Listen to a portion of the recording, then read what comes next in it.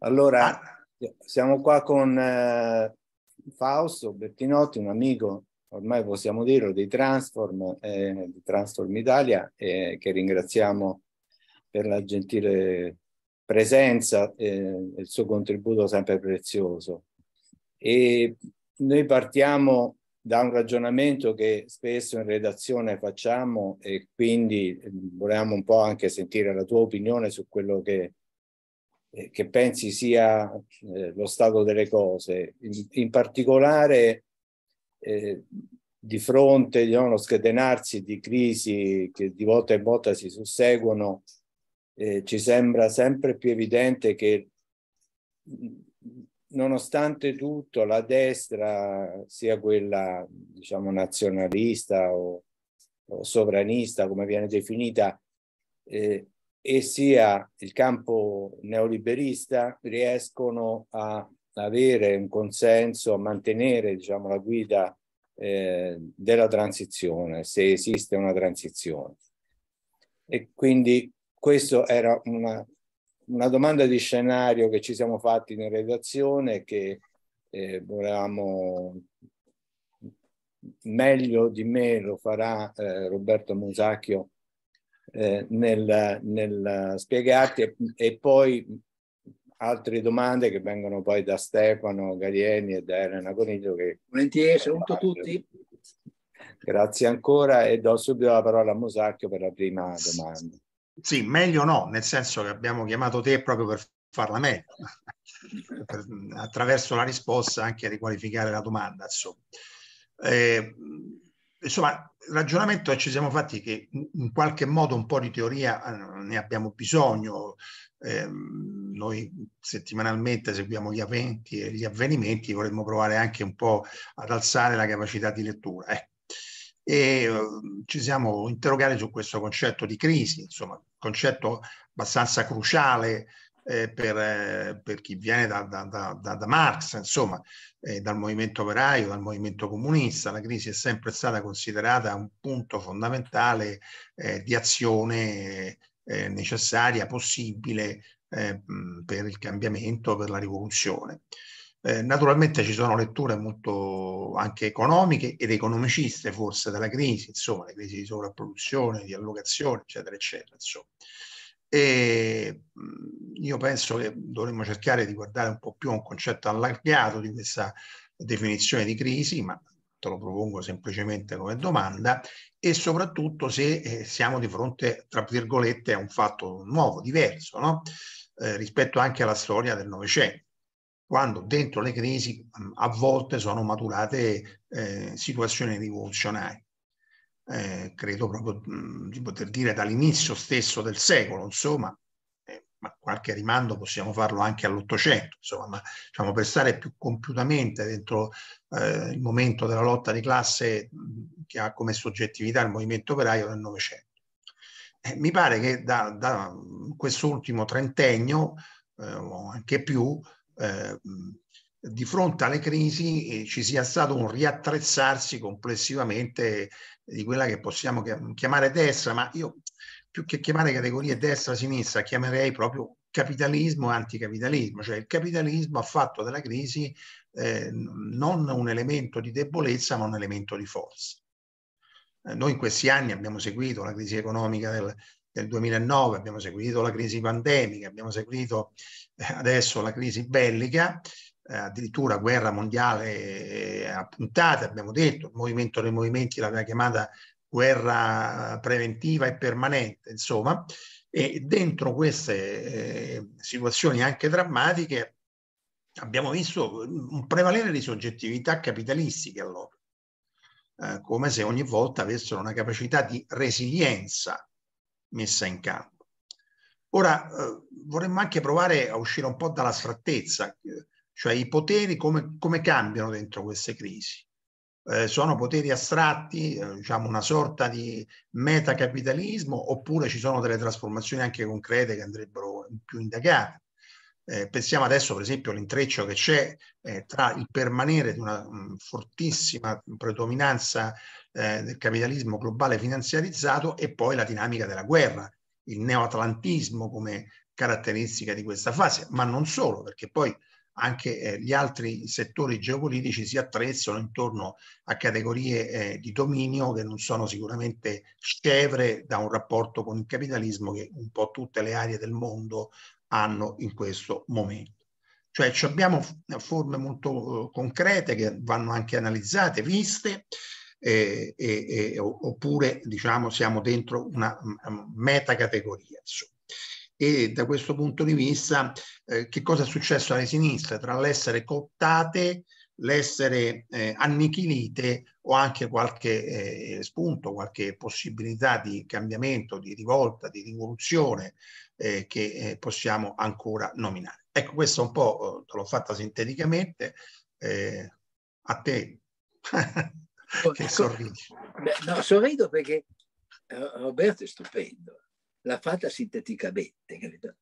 Ha, ha, ha squadernato un, un, ordine di problemi che richiederebbe no, no, no, un, so, un, seminario in progress, la produzione di un libro, di dieci libri, eh, una reinvenzione della critica al capitalismo come quella che, che si inventò Raniero Panzieri all'inizio degli anni 60, indagando appunto una, una, un nuovo ordine capitalistico.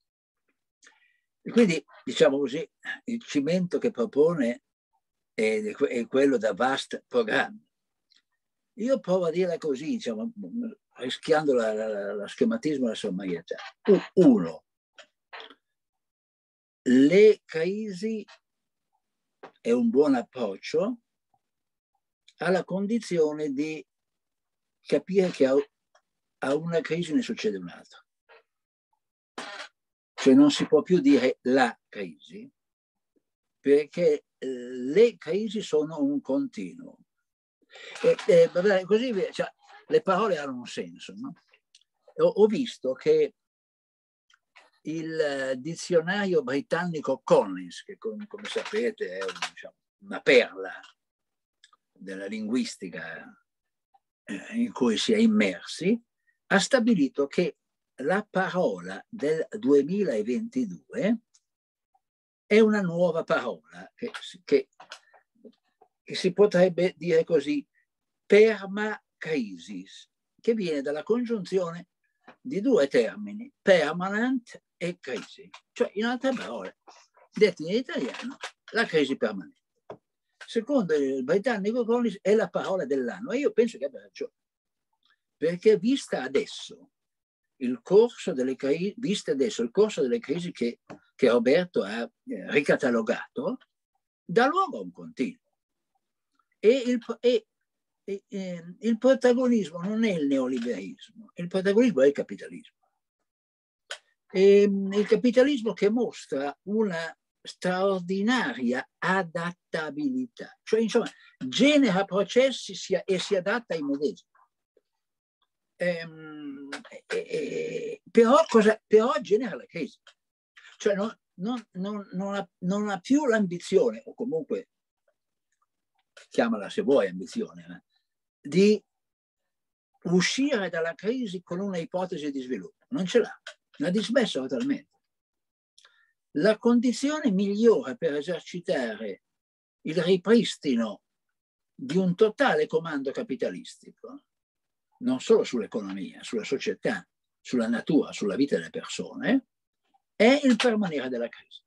Roberto ha ricordato la, la differenza, il Novecento, ma è appunto, il Novecento aveva all'ordine del giorno la rivoluzione e, que, e questo, questo elemento faceva sì che la crisi poteva essere un'opportunità.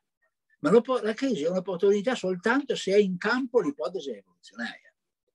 Altrimenti la crisi è sempre un punto di forza del sistema.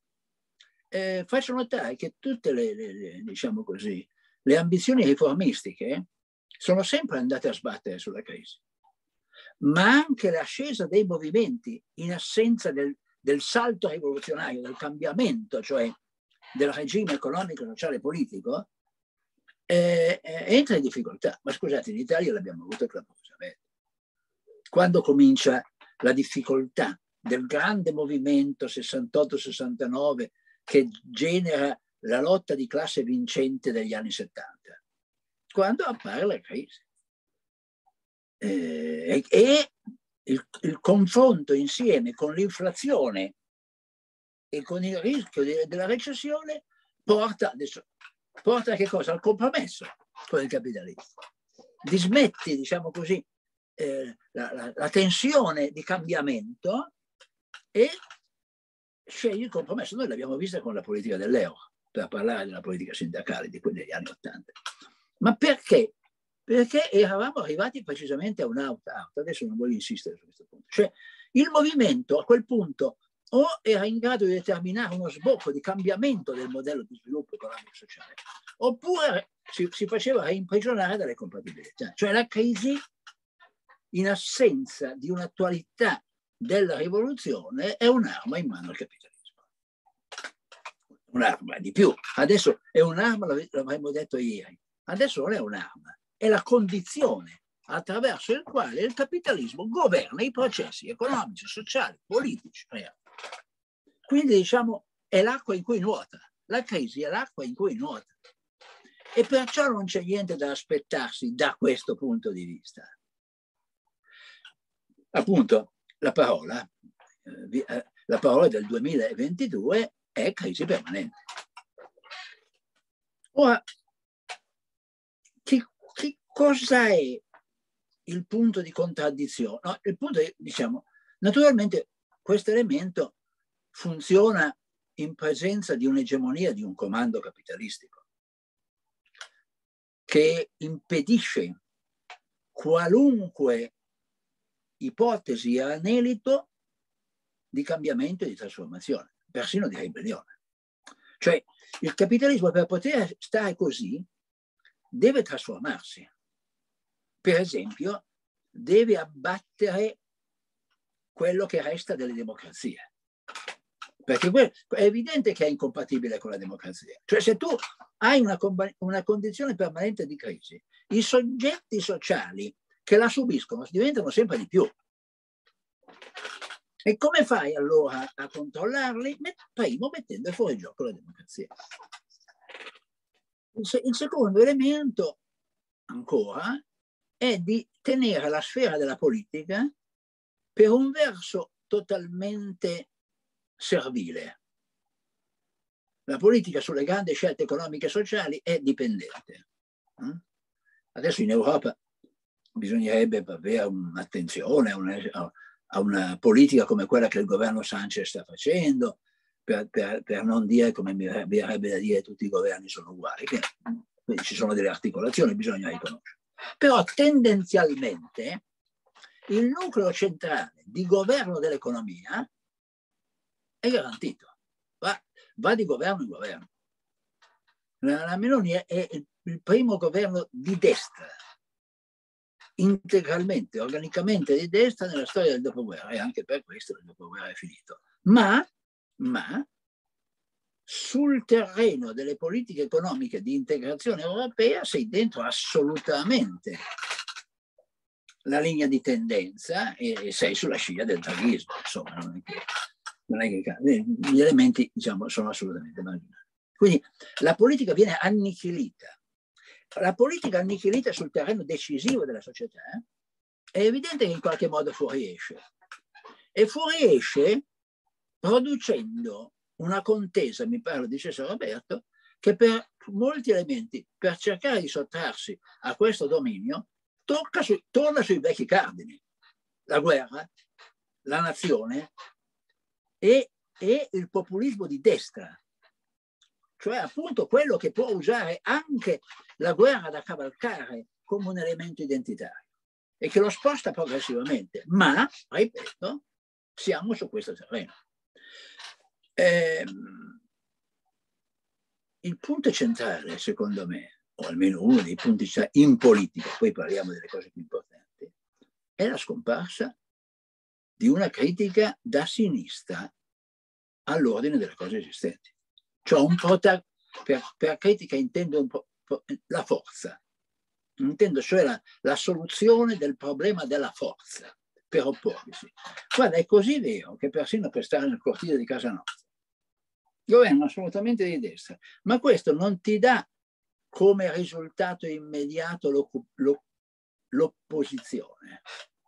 No, ti dà le rivolte, le opposizioni, i rancori, ma l'opposizione è un processo di costruzione, come un processo di costruzione della classe, come un processo di costruzione del popolo. Non, non, è, non è, vero che siccome c'è un governo che fa schifo, dunque c'è un'opposizione all'altezza della sfida na- naturale. No, naturale c'è ancora. Perché appunto, perché? Perché tu vivi dentro appunto la crisi. E la crisi, eh, secondo me, hanno scritto davvero un bel libro, Bello Fiore Garibaldo, so, l'ultimo metro. Eh, quello che avviene nella, nel conflitto di classe, che secondo me poi è appunto nevralgico anche della vicenda di oggi, va indagato perché lì c'è il problema. Il problema. Il, il, la, la, la, il capitalismo che vince, vince per, perché ha operato il rovesciamento del conflitto di classe, è riuscito a operare il rovesciamento del conflitto di classe. Sì, certo, delle sue la potenza della rivoluzione tecnico-scientifica e altro di cui possiamo discutere, ma, ma può andare avanti perché ha fatto del lavoro il ventre molle dell'accumulazione capitalistica. Eh, questo punto è, è, assolutamente essenziale. Tutte le chiacchiere sul postmoderno, eh, l'inesistenza del, della questione del lavoro, vengono proprio sbaragliate dalla crisi, assolutamente sbaragliate dalla crisi. Ma che cosa, che cosa accade in questo? Accade che una opposizione forte deve poter muoversi su tutto il campo variegato del conflitto, reale e potenziale. Cioè, noi, questa cosa anche, anche qui, eh, non ci sono più gli operai, non c'è più la grande fabbrica, non vuol dire, come sappiamo, come Roberto sa benissimo, non vuol dire niente. La composizione sociale di classe è sempre, si è sempre modificata radicalmente nei passaggi storici. E il conflitto di classe ascendente si è determinato quando il proletariato ha guadagnato il possesso della chiave per intervenire nella nuova situazione attraverso il conflitto. Quindi il, il, il problema è qui. Cioè, se que, que, la macchina va sulla sua strada di crisi in crisi, le obiezioni che si possono fare sono molteplici. La prima delle quali però la accantono, perché è troppo impegnativa, è chiedersi se questo, questa ristrutturazione capitalistica permanente e questa crisi permanente non esponga l'umanità, non solo la classe, l'umanità, al rischio della catastrofe. Io penso che sì, io penso che sì che avesse, che avesse ragione allora Rosa Luxemburg, che ne ha ancora di più oggi. Che ne ha ancora più oggi. Il rischio, il rischio della catastrofe c'è, ma il capitalismo non è, in, non è lui in grado di allontanarlo. Perché per allontanarlo si deve aprire uno scontro di civiltà. Uno scontro di civiltà contro la civiltà erogata da questo capitalismo finanziario globale uno scontro di civiltà che muove dal, che muove dal conflitto di classe. E qui io sarei meno disperato, diciamo, di quello che in genere corre in giro. Perché è vero che uh, ho imparato, la parola del, del 22 era quella che abbiamo detto, però adesso imparo, proprio nei giorni scorsi, che in Gran Bretagna si afferma una nuova parola. Una nuova parola. Posso leggere il titolo del Corriere della Sera, così non, non ci eh, non siamo noi a dirlo, dice così il Corriere della Sera nel titolo, il Natale inglese sembra cancellato. Scioperi negli aeroporti, sui treni, negli ospedali, alle poste, ovunque, ovunque si sciopera. L'onda si ferma e nasce una nuova parola. Questa parola, se la dico correttamente in inglese si, si chiama strike mass, cioè lo sciopero, di, il Natale dello sciopero. Eh, era prevedibile sei mesi fa? No. Si parlava dei scioperi in Francia, ma la Gran Bretagna era fuori, era fuori campo. Era Christmas, quindi perciò il MAS.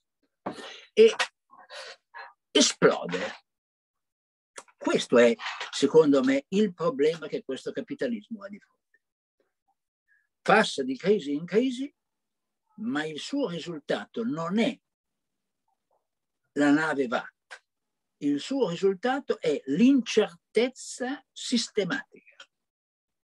Il rischio cioè che anche per lui, passando di crisi in crisi, la situazione possa andare a un punto in cui la crisi torna a essere un'opportunità, cioè non più solo parte costitutiva dell'innovazione capitalistica, regressiva socialmente e civilmente, ma anche un'opportunità, possibilità per mettere sabbia nell'ingranaccio e, e quindi far riaprire la grande contesa, perché oggi la contesa, che mi pare non possa muovere dal governo degli stati, recuperando un'ipotesi, diciamo, neoriformista che mi pare incompatibile con il capitalismo di questo tempo, che diversamente da quello fordista e taylorista non, non, non, non ha non consente margini ridistributivi. Come si vede, la politica redistributiva è tutta salario, violentissimamente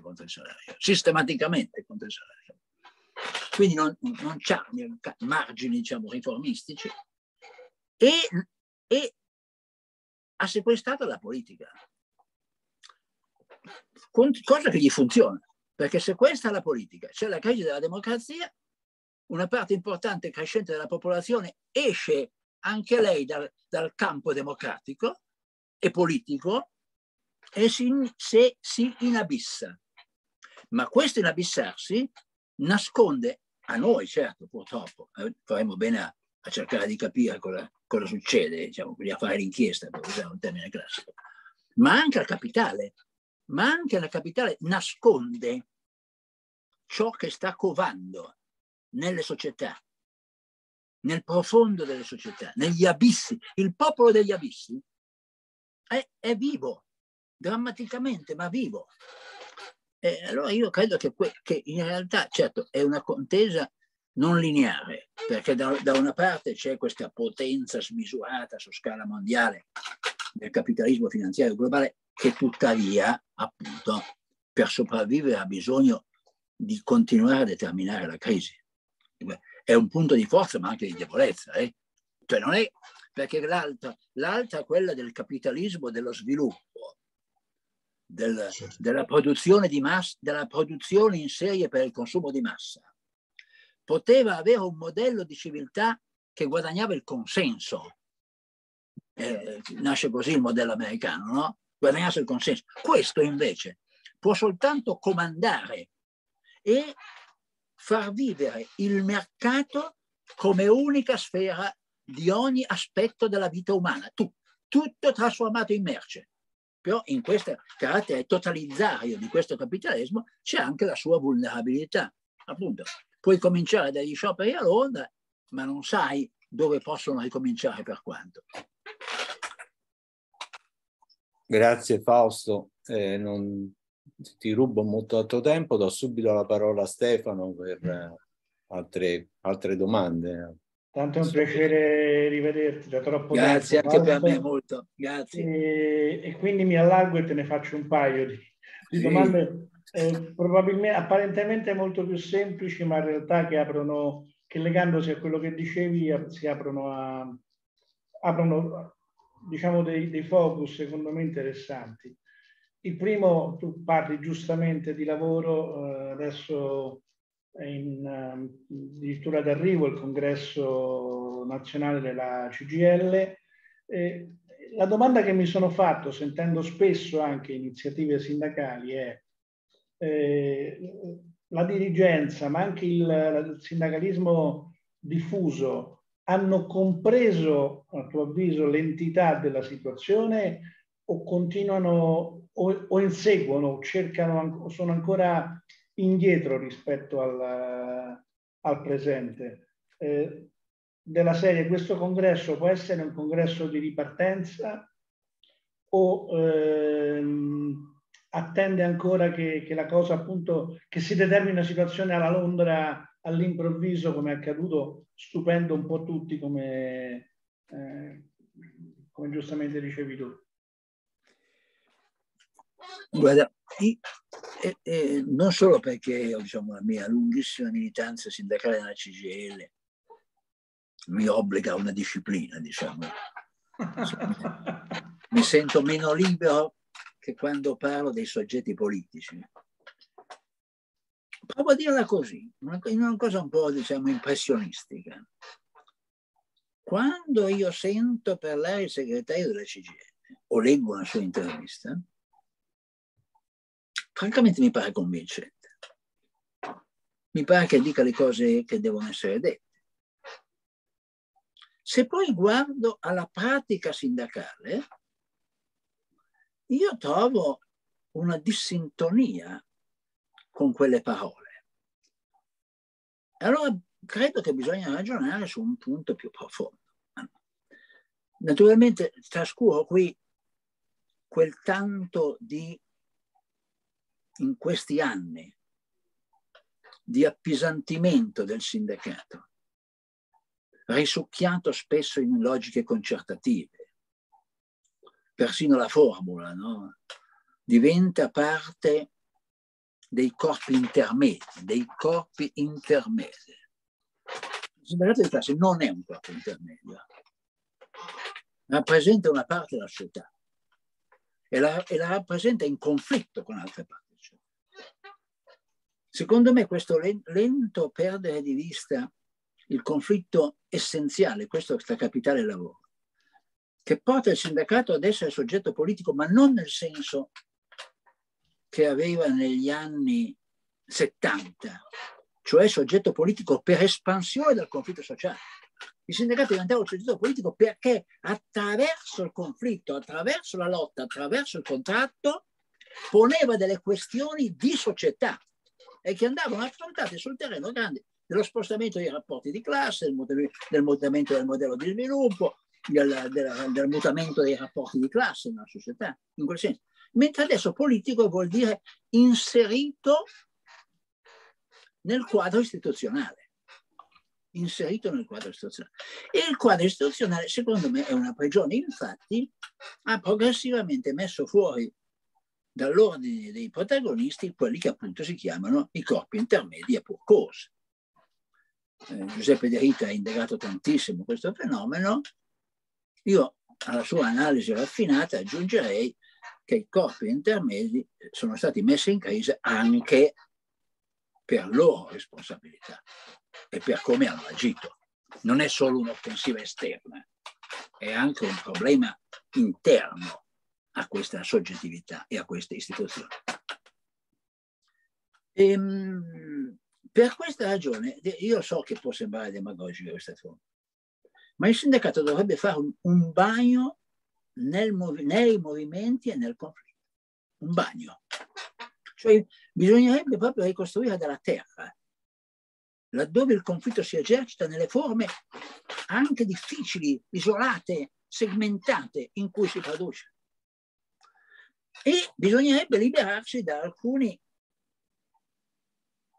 come dire, da alcuni sensi comuni mortiferi Spesso anche eh, le buone parole del sindacato fanno slittare la questione salariale prevalentemente in direzione dei provvedimenti governativi. Il fisco, gli interventi a favore di certe aree sociali, eh, la, la, rivendicazione del, di, della misura della rappresentanza, anche per scongiurare i, contratti pirati. Tutto giustissimo, eh? Tutto giusto. ma la condizione che siano complementari, non sostitutivi del conflitto di classe tra salario, profitto e rendita.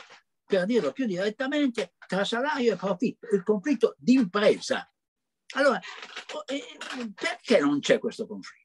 così aperto, così esplicito. Cioè, insomma, perché non si chiede un aumento generalizzato dei salari come sarebbe, come dire, elementare? Scusami, tu hai avuto, eh, come eh, ormai hai ripetuto milioni di volte, hai avuto altri paesi interni alla comunità europea in cui i salari sono cresciuti negli ultimi decenni del 30% e in Italia sono scesi del 3%. E, e ancora, se, se, se, se, si guardano le statistiche, si vedono che i dividendi delle società per azioni crescono a ritmi impressionanti e i salari stanno fermi e peraltro sono divorati dai rinnovi contrattuali non effettuati e, e quando effettuati con un adeguamento all'aumento dei prezzi adesso di fronte a un'inflazione gigantesca rovinoso. Ecco, allora io penso che il sindacato debba recuperare l'essenziale. E nell'essenziale l'essenziale, appunto, la contesa salariale. Naturalmente, quando parlo di salario, parlo di salario in generale. Nel mio, nella, nel mio salario c'è ovviamente il reddito di cittadinanza, c'è il salario medico garantito, ci sono le pensioni sociali, c'è insomma una grande questione redistributiva. Ma è qui che io vedo un deficit dell'azione sindacale, francamente un deficit. Io to, to, il sindacato è in primo luogo un'autorità salariale.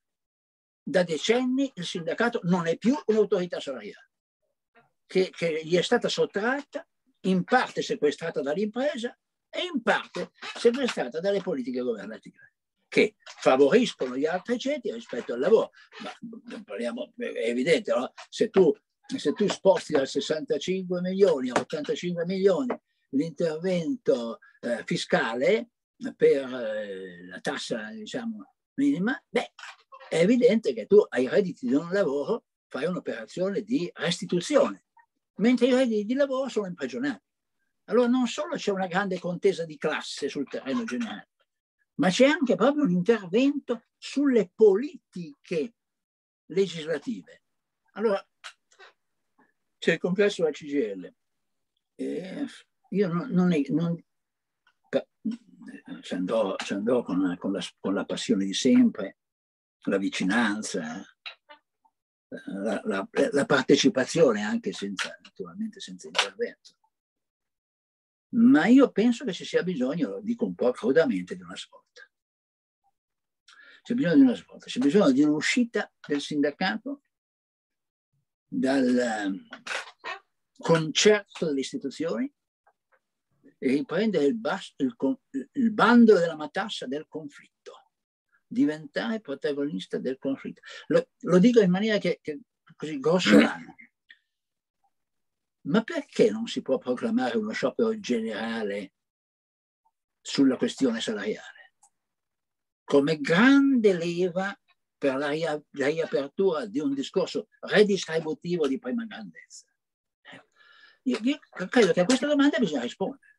Se, se, io guardo con interesse al sindacato perché mi, mi, aspetto che si risponda a questa questione, perché no? Grazie, grazie Fausto eh, molto velocemente do prima la, la, parola a Elena per la sua domanda. Eh, sì, io vorrei farti una domanda su ultima generazione, perché abbiamo assistito questo mese ad un crescendo delle loro azioni di protesta che sono viste da un lato come scioccanti e dall'altro criticate e mm, minimizzate in virtù della, del loro metodo. E quindi vorrei domandarti mm, qual è secondo te il valore del gesto in proteste come queste? Grazie, grazie, grazie. Eh, poco fa eh, discutevamo di titoli da dare al prossimo numero di alternative per il socialismo.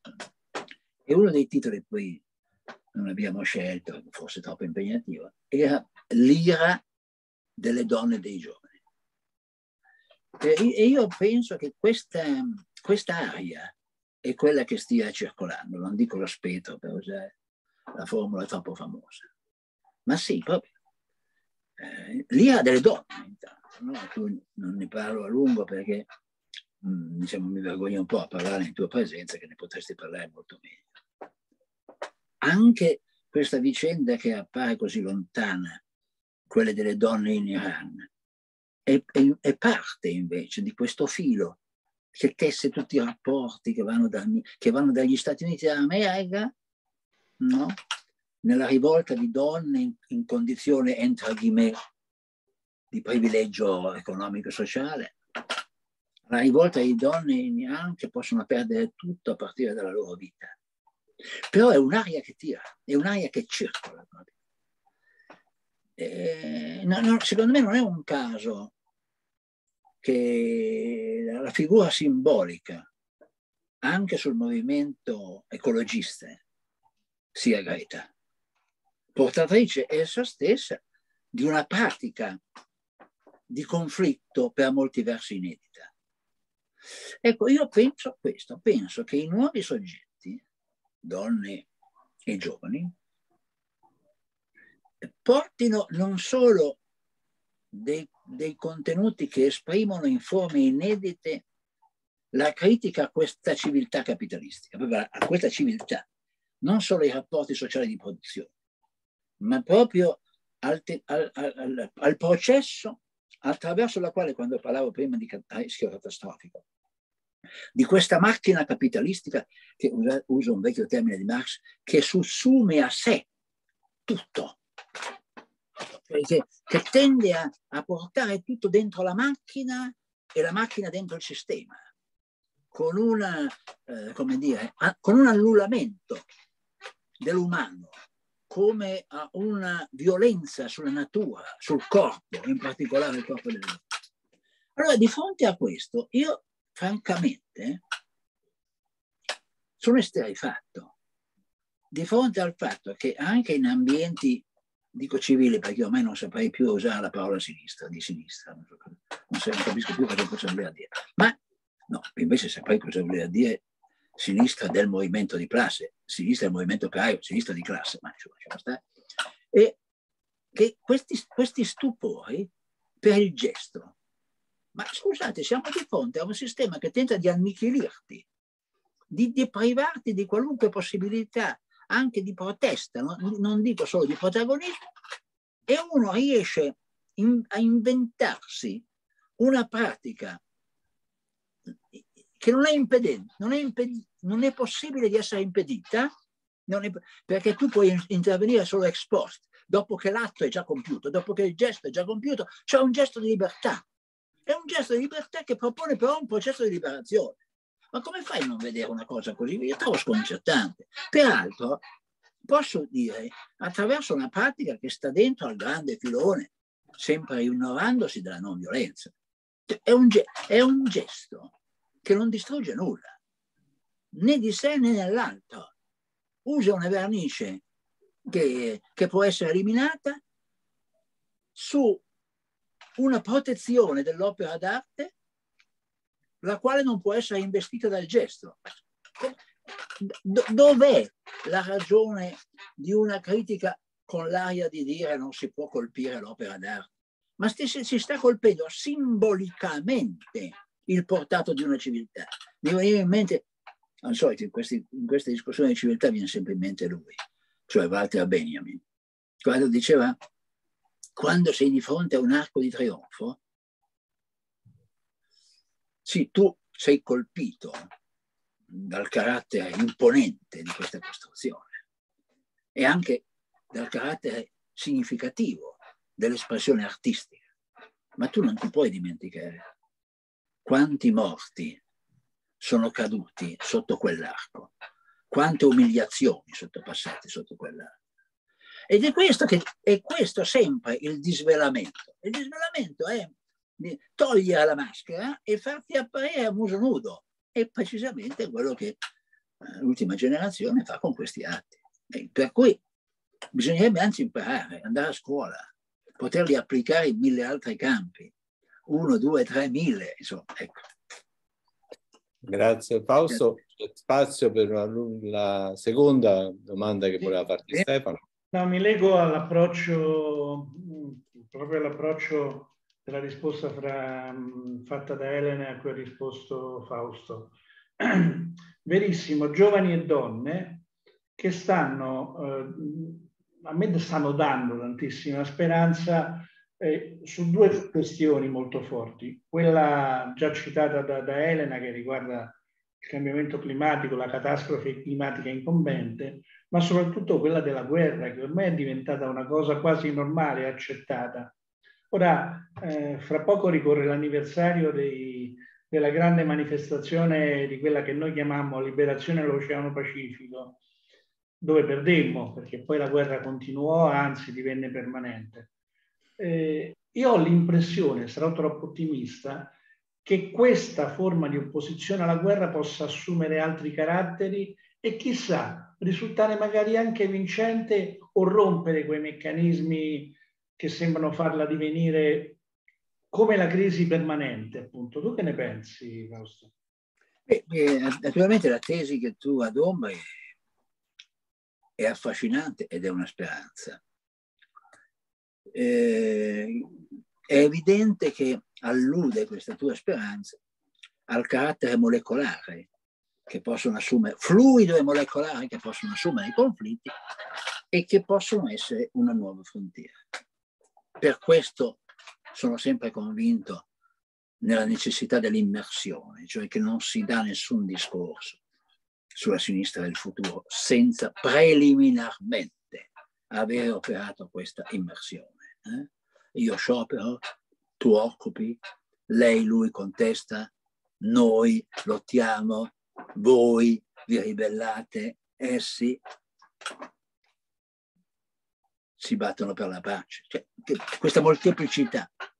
E questa molteplicità è l'acqua in cui dobbiamo sapere nuotare.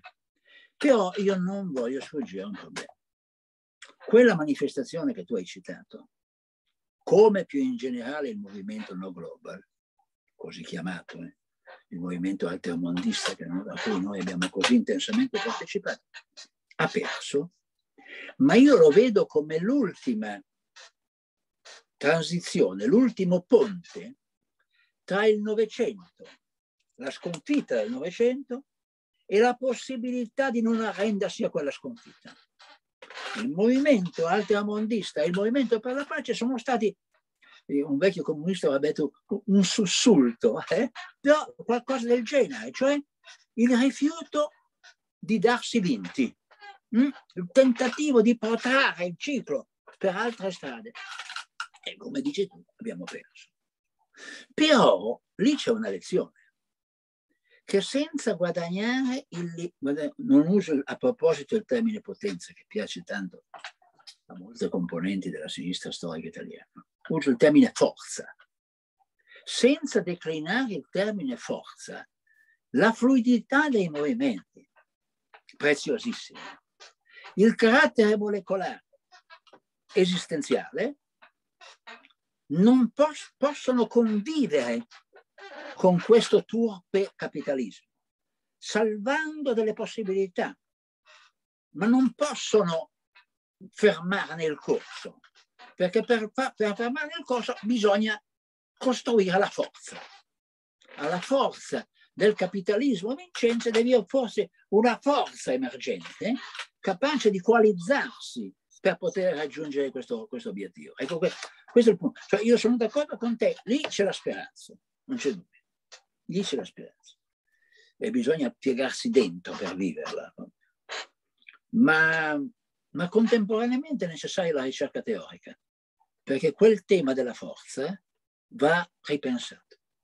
Insomma, adesso la dico in termini che, non sono paragonabili con la nostra miseria, ma la Comune di Parigi è, è, è forse stata la pagina più esaltante della storia del movimento operaio del Novecento, almeno secondo me. Ma il movimento operaio organizzato nasce sulla riflessione di quella straordinaria vicenda e della sua straordinaria sconfitta. Cioè, perché in quella temperia della fine dell'Ottocento si apre una riflessione di fondo proprio sul tema della forza che poi verrà risolto, come sappiamo, dalla vittoria del modello tedesco su quello belga e dall'affermazione del partito, del sindacato, delle cooperative, invece che dalla, dallo spontaneismo e dalla, dalla spontaneità scusa, e dall'autogestione. Però non la soluzione del problema, ma il problema si ripropone. Dopo la sconfitta del Novecento e di fronte al riemergere dei movimenti, il problema è uno, l'immersione nei movimenti e due, una ricerca teorico-pratica per affrontare il tema irrisolto della forza. Fausto, come sempre preziose le tue parole. Eh, grazie. Vengo apposta qui perché siete amici e fate complimenti. Riprendermi un po' dal rischio di depressione. No, figurati. Grazie ancora. Eh, grazie, grazie, a voi, grazie tante. Eh, della disponibilità. Eh, chiaramente troverete questo video sul nostro sito, quindi e diffondetelo. Grazie, grazie. ancora. Grazie, grazie. Ciao, ciao. Ciao, ciao, ciao. A presto, spero. A presto, a presto. Ciao Fausto. Ciao, ciao Alberto, ciao a tutti e a tutte.